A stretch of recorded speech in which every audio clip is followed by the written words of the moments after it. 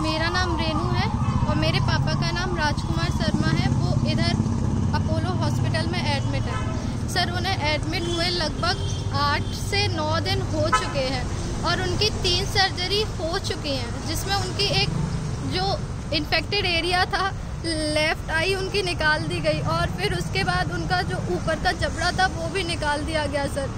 और डॉक्टर्स का कहना है जो उनको इंजेक्शन लगने, पहले उन्हें कोविड हुआ था, बाद में उन्हें ब्लैक फंगस हुआ था, जिसकी वजह से उनका ऐसा कंडीशन हो गई।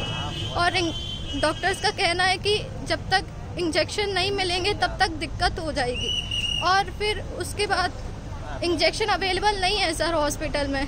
मैंने बहुत लोगों से बात करी डीएम सर से करी डीआई से करी एसडीएम से करी, लेकिन सर इंजेक्शन मुझे कहीं से नहीं मिले। मैंने लगभग मैं एक हफ़्ते से लगी हूँ, सर। मैंने 800 से 900 नंबर डायल कर लिए, लेकिन मुझे कुछ नहीं मिला, सर।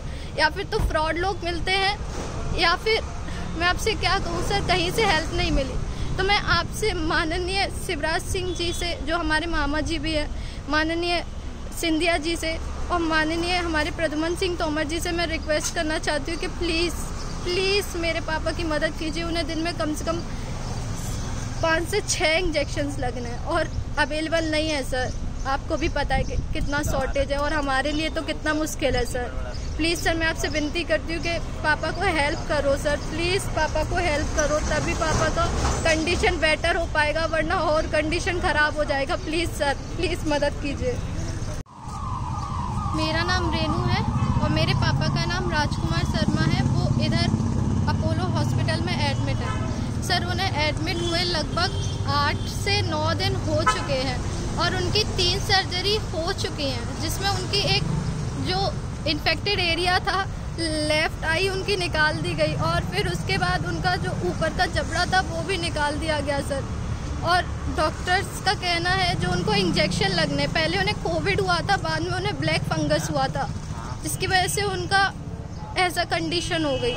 और डॉक्टर्स का कहना है कि जब तक इंजेक्शन नहीं मिलेंगे, तब तक दिक्कत हो जाएगी। और फिर उसके बाद इंजेक्शन अवेलेबल नहीं है सर हॉस्पिटल में। मैंने बहुत लोगों से बात करी, डीएम सर से करी, डीआई से करी, एसडीएम से करी, लेकिन सर इंजेक्शन मुझे कहीं से नहीं मिले। मैंने लगभग, मैं एक हफ़्ते से लगी हूँ सर, मैंने 800 से 900 नंबर डायल कर लिए, लेकिन मुझे कुछ नहीं मिला सर। या फिर तो फ्रॉड लोग मिलते हैं, या फिर मैं आपसे क्या कहूँ, सर, कहीं से हेल्प नहीं मिली। तो मैं आपसे माननीय शिवराज सिंह जी से, जो हमारे मामा जी भी हैं, माननीय सिंधिया जी से और माननीय हमारे प्रदुमन सिंह तोमर जी से मैं रिक्वेस्ट करना चाहती हूँ कि प्लीज़ प्लीज़ मेरे पापा की मदद कीजिए। उन्हें दिन में कम से कम पाँच से छः इंजेक्शन्स लगने हैं और अवेलेबल नहीं है, सर। आपको भी पता है कि कितना शॉर्टेज है और हमारे लिए तो कितना मुश्किल है, सर।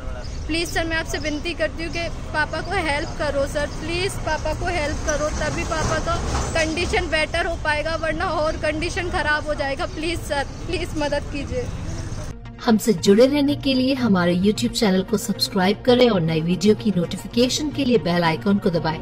अगर आप ये वीडियो Facebook पर देख रहे हैं तो लाइक ज़रूर करें और ज़्यादा से ज़्यादा शेयर करें। धन्यवाद।